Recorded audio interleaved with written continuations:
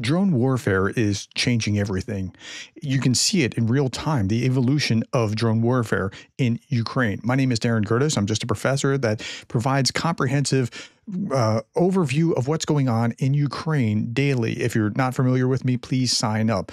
If you are familiar with me, then you would seen something like this yesterday, all about the drones. Now, only half of you uh, watched this video, and I, I can tell from the statistics that that not a lot of you did. I'm fascinated by drones. I think drones are telling the story of the war. If you didn't see this yesterday morning, um, this video, it's still pretty fresh. Uh, go back and see this because it helps you understand what's going on on the battlefield and why things are going the way that they're going.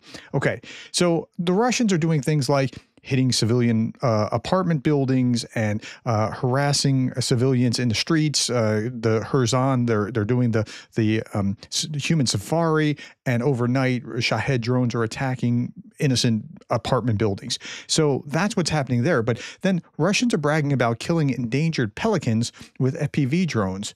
Russians don't need a reason to kill; they just love doing that. Was a commentary, but I, I don't want to see endangered birds killed. But better that they're the Russians are spending their drones on a bird than on a human Ukrainian. Um, and so the, the, the Russians are pursuing things very differently than the Ukrainians are, but the Russians are getting better at this, and the countermeasures have to get better as well.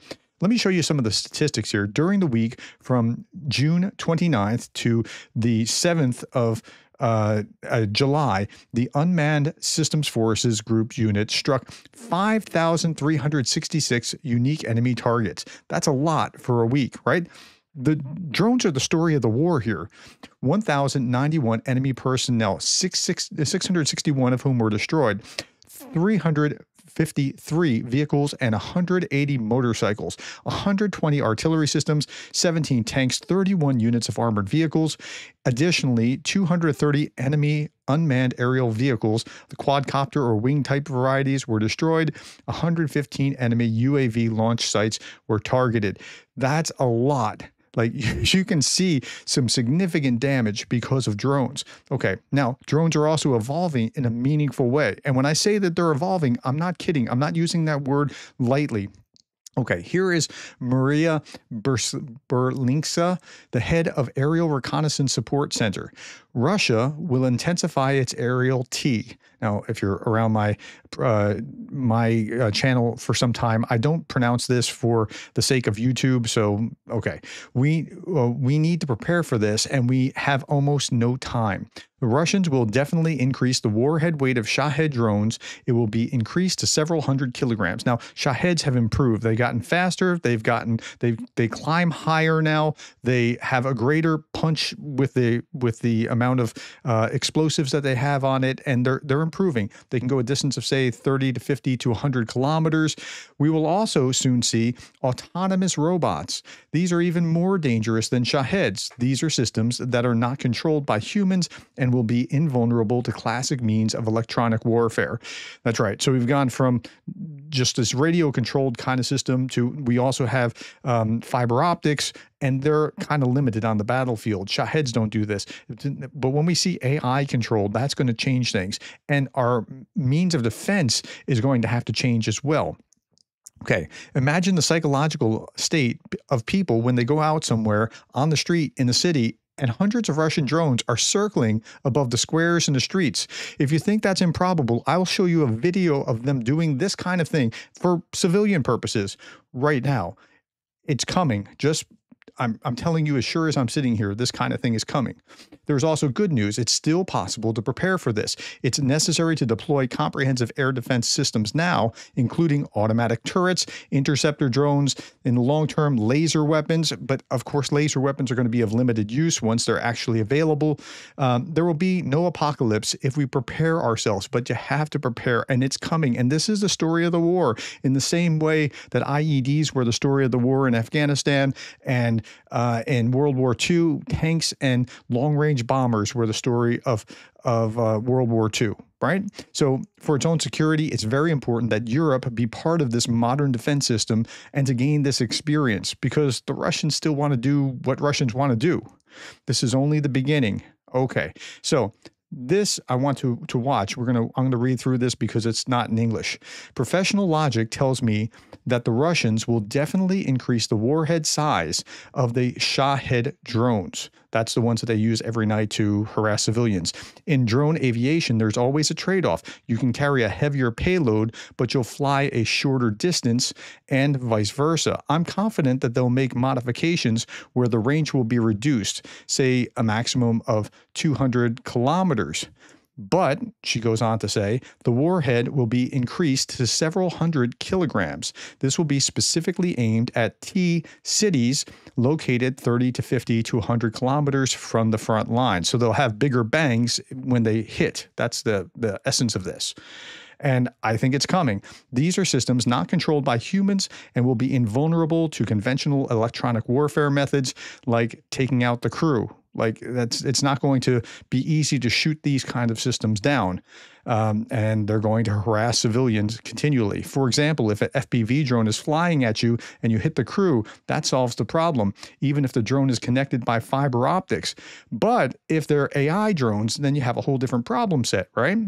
So she's going to go on and say currently they can't produce many of these cheap systems, but we're talking in the low thousands now, and they'll scale up to tens of thousands. And that's coming. That's the future of drone warfare. It is on its way. I, I mean, I'm, I'm telling you, and I'm going to show you some videos about this. Just imagine the psychological state of people. You're walking down the street in Vinnytsia, and above you, hundreds of Russian drones. And that's what I was reading earlier as well uh, circling over squares and streets, drones at any moment could hit. Now, I'll say it right away there's good news. We can prepare for this, and we have to think in terms of preparing for this. Okay, so what is the this that we're preparing for? Let me show you some of the things that can be done. But by the way, before I do that, Andrew Perpetua, who tracks daily hits of what things that have been blown up or exploded or whatever, uh, vehicles and other things.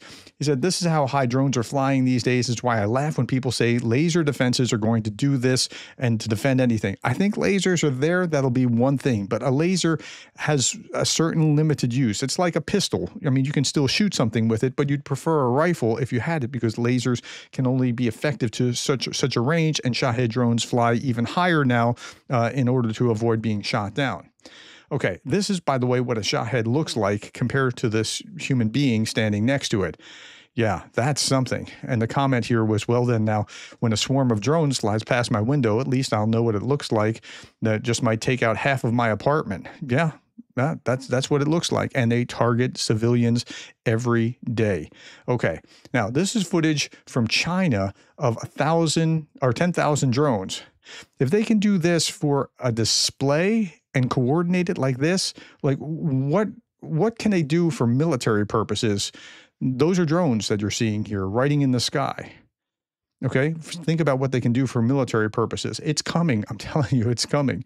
Here's another image of this kind of thing these swarms going up in the air. And when these swarms are coordinated coming at cities, it's going to be massive. These are not Shaheds, these are FPV drones, but just think when the technology gets to that place. Uh, this is some imaging of uh, the of these things being uh, the Shaheds being shot down or trying to target the Shaheds to keep them from destroying the cities. But I'm telling you, drone swarms are just, it's amazing. These are drone swarms um, going through trees and being able to, like, they can sense what's around them and swarm through things. The future's here, and this is it. Okay, I was just finishing this, and then I just took one last look at the news and I saw this. China unveils a sub launch carrier uh, carrier killer drone swarms. This was just today, like a, an hour or two ago. Uh, just just today, just a little while ago, um, Chinese affiliated social media accounts have been posting videos about China's newest form of carrier killing weapons, drone swarms. But these drone swarms are not your typical drone swarms launched from a ground position at targets near or above them. Instead, the video depicts these drones being launched from Chinese submarines. So the people in Taiwan are going to get nervous about this kind of thing. But yeah, I mean, so it's improving. It's what what's happening here is just again, if they can do this, which is it's it's eerily beautiful, but it's also eerie to think, what if this is used for military kind of purposes rather than a pretty display in the sky? I'm telling you, drones are evolving, and that's the point of this. If you haven't seen this previous video, please go back and look at it. Thank you for your time. Tell me what you think about that in the comments below. Any any advice that you have or things that you can point me to, I'm happy to look at. Thank you for your time, the likes, the shares, and the subscribes. And thank you for being the kind of person that cares about Ukraine.